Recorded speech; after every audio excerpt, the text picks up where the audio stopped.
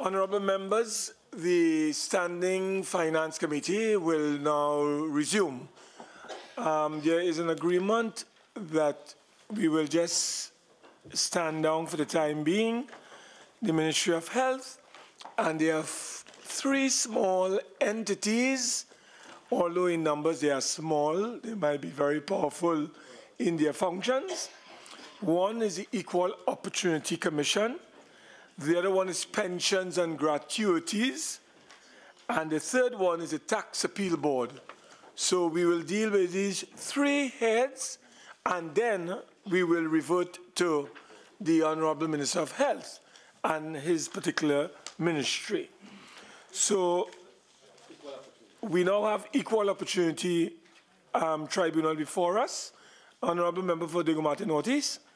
We will deal with equal opportunity now. After then, we will deal with pensions and gratuities. And the last one is tax appeal. No, these were standby, we were saying that we want to complete. The, the, these are small entities.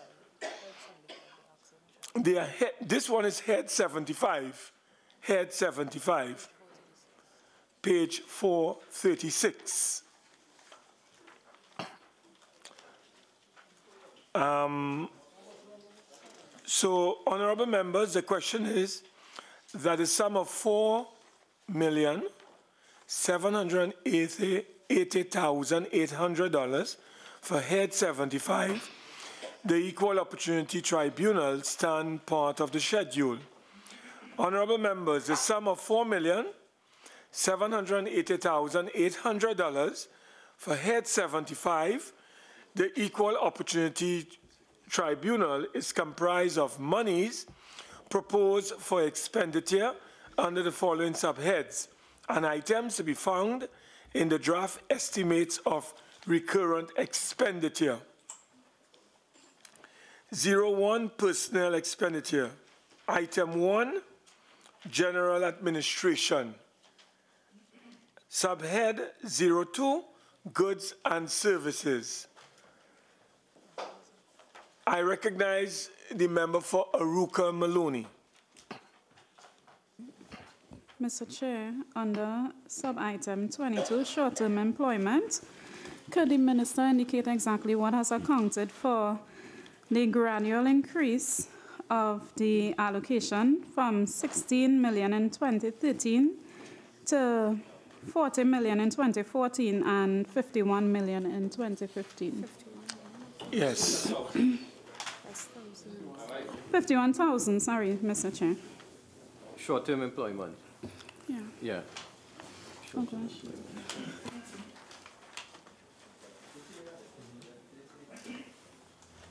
I understand. It's short-term employment, head um, 22? Yes, it's short-term employment. Employment, yeah. Um, the honourable member would like to know what has caused the little drift in the numbers from 40 to 51. 51 from the initial figure of 16,000.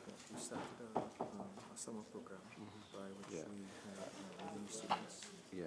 Um, thi- This would be part of, this would be part of the summer program that they have. um, that they've uh, Where they've been um, taking in a, um, people, interns, to work with the um, uh, um, commission and and tribunal, and this is um, the increase that is representative of that.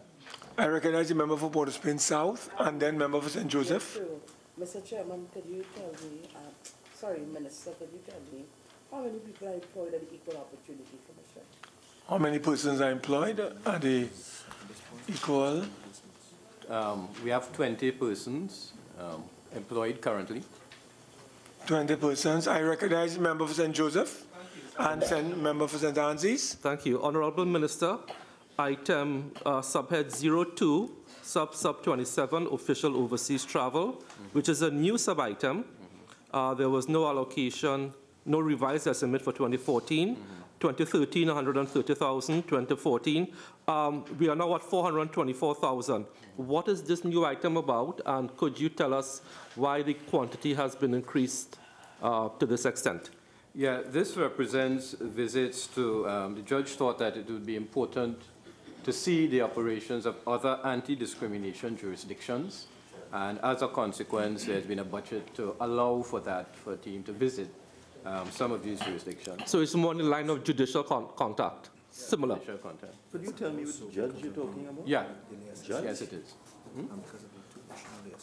Yeah, um, yeah, so it's, it's a judge and two additional assessors. You have a judge? Yeah, Yeah. which, Yes, The judge is Judge Joseph. Yeah, um, okay, Rajman great. Lal Joseph. thank you. right, I, re- I recognize St. Ann's East. Thank you, Mr. Speaker. Mr. Speaker, I'm looking at janitorial services and security services. It's the first time janitorial services uh, is budgeted, and also the security services have increased from the estimates for 2014.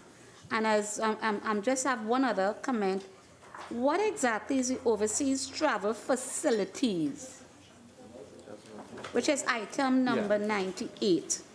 So those Okay. three questions, please, Mr. Okay, Chairman. with respect to um, janitorial services and security services, right now, the, um, the tribunal uses the offices, uh, Mr. Chairman, of the uh, Attorney General.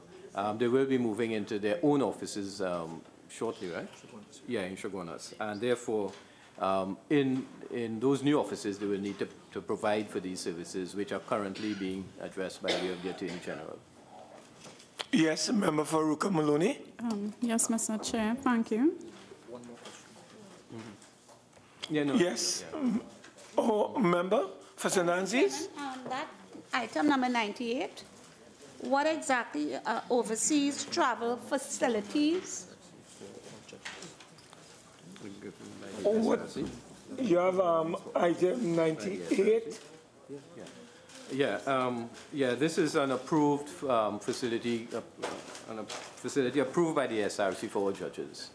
And, and this is for, It's- for the judge, It's a, apparently a facility approved by the SRC for. for, for the- judges. For judges. And it's separate and apart from overseas travel, which Which the is. member asked. Yeah, which is a, an operating expense as opposed to a specific perk, so to speak, or personal allowance.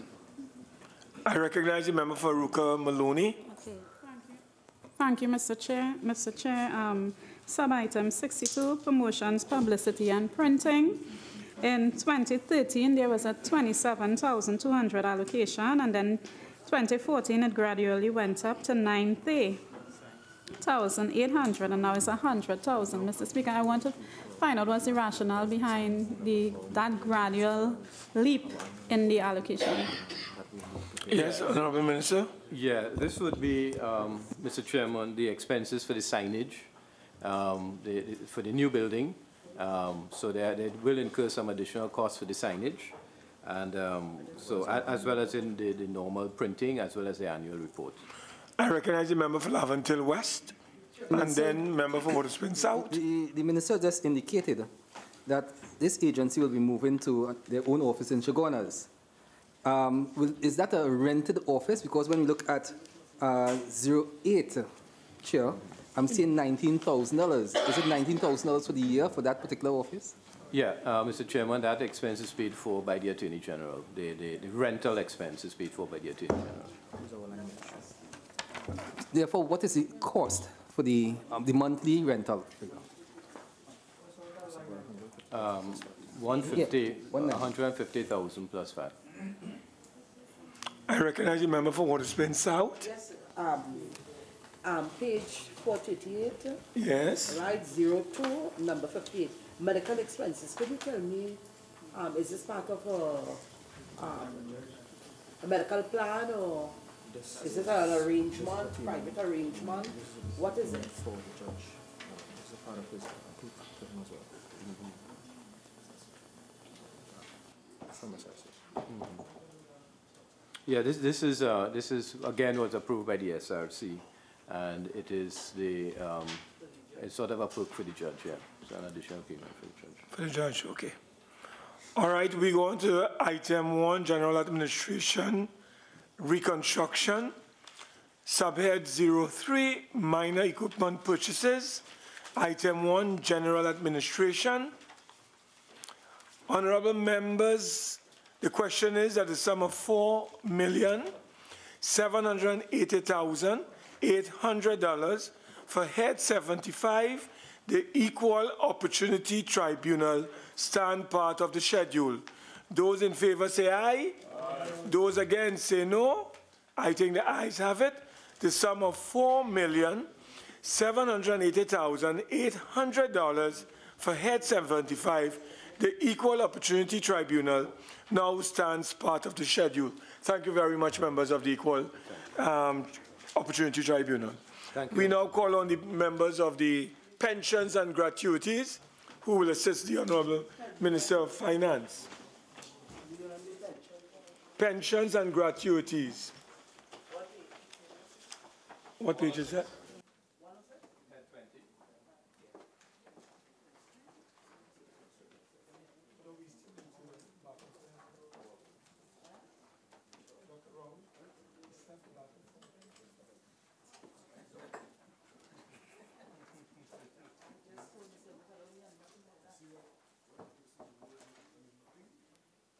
Those of you who are just joining us, we've just uh, witnessed the examination of the Equal Opportunities Tribunal.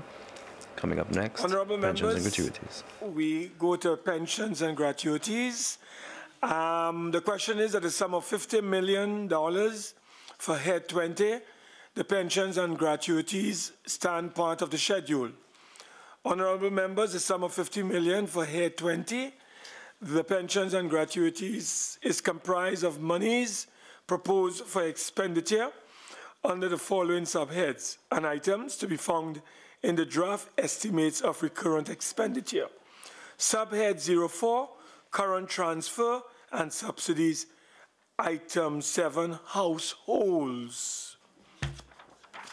Then we go, well, households, that, that's it?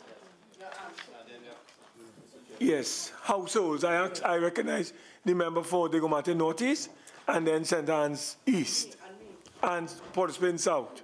Could the minister state whether any additional provision has been made for increased pensions for members of parliament and judges in 2015? Um, Honorable Ministers, uh, Minister Rather, Um, any, whether any additional increase allocation for or increases? allocation for pensions for members of parliament and judges?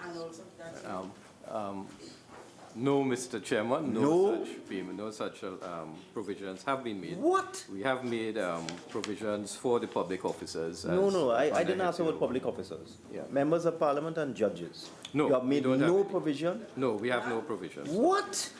No provision. We have to So do something about that? we go on to, who's the next person who would like to But speak? you something else? Um, I recognize the member for Diego Martin Central and St. Ann's East. Never. Yes, with respect to the pensions for Defense Force officers, uh, it arose in an earlier line of questioning with the Ministry of National Security, and they indicated you might be able to help. Um, to clarify why these payments seem to be coming traditionally late every month to retired Defense Force officers. They've been complaining about that. So under this line item, if you can clarify. Okay. Honorable Minister? Um, Mr. Chairman, that is something I would need to come back, get back to the honorable member on. All right, um, who's the next person? St. Ann's East? Thank you, Mr. Chair. Mr. Chair, item number 10, gratuities to technical and professional contract officers. Uh, What's the reason for the big reduction of 35 uh, million dollars? Um, Yeah, this, this was an adjustment which was made by Budget Division um, based on um, their projections regarding um, the, yeah, based on the fact that, uh, yeah, what they were saying is that um, the figures that we had in the prior year, um, when last year would have been an arrays of um, gratuities which was paid in 2014. And therefore, this would have been the estimate of the new fig- the figure going forward. The member for Port of Spain South and member for Ruka Maloney Maloney after. Yes, um, Minister, um, under the same 007, subhead 12, ex gratia awards, could you tell me what that $12 million is about? Honorable Who is it Minister? payable to? Thanks. This would be, um, yeah, thi- this would be for retirees. Um, There's been an increase in the number of retirees. In um, 2013, they paid 160, in 2014, 202. Honorable members, the question is, oh yes, member for Arouca Maloney, sorry, honorable member. Yes, um, Mr. Chair, items, sub-item 02, public officers gratuities. I would like to know what accounted for a $20 million decrease in It's- the it's the same- allocation. So- Sorry, Mr. Chair, it's the same issue as had occurred with respect to the 35. It was a raise of gratuity, which was paid in 2014, which caused the number to look higher than in 2015. Okay? Yes, honorable member for Point Plain South. Um, um, Minister, you know, Mm-hmm. I'm just going through this quickly and uh, I've seen increases all around. Mm-hmm. Public officers, president's pension, um, what do you have? VTEP, everything, yes. Fire service, yeah, president's pension and everything inside of here. Mm-hmm. I'm asking, with all these increases, no consideration. M- Minister, you're not looking at me? Yeah, no, no, no, I'm hearing you. I don't need to hear, I don't need to look. Yeah. no consideration has been given whatsoever for um, increases for um, parliamentarians, nor to the judges. Um, I suppose that would be the media review, Mr. Chairman. We, we come back in the media review. Minister, you know that is not true. You know that, and I know that. But No, no, Say no no more. provision was made, um, Mr. Chairman. Yeah. Okay, hon- honorable members, the question is that a sum of $50 million for Head 20, pensions and gratuities, stand part of the schedule. Those in favor say aye. Those against say no. I think the ayes have it. The sum of $50 million for Head 20, pensions and gratuities, now stands part of the schedule. Thank you very much, members of the pensions and gratuities section. We now invite the Tax Appeal Board um, to appear before us. That is, that is head nine. And it's on page 42.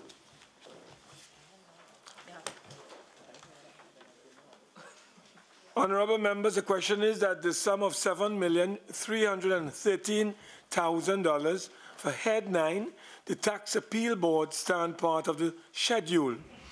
Honorable members, the sum of $7,313,000 for Head 9, the Tax Appeal Board is comprised of monies proposed for expenditure under the following subheads and items to be found in the draft estimates of the recurrent expenditure and the draft estimates of development program.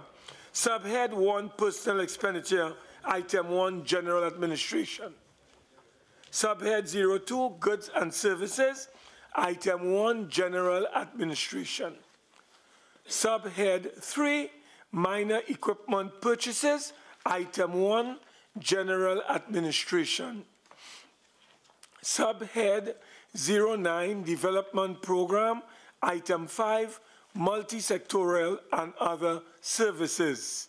Honorable members, the question is that the sum of seven million three hundred and thirteen thousand dollars for Head 9 Tax Appeal Board stand part of the schedule.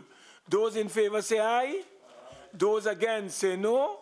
I think the ayes have it. The sum of seven million three hundred and thirteen thousand dollars for Head 9 Tax Appeal Board now stands part of the schedule. Thank you very much, Minister um, of Finance.